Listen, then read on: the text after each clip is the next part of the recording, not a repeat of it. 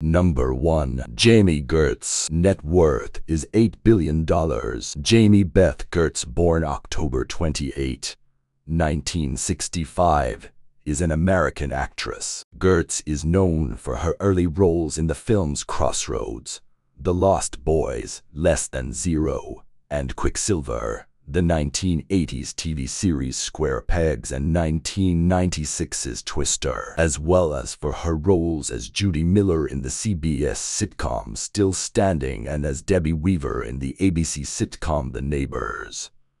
Along with her husband Tony Ressler, she is a part owner of the Atlanta Hawks of the National Basketball Association. Like and subscribe the channel.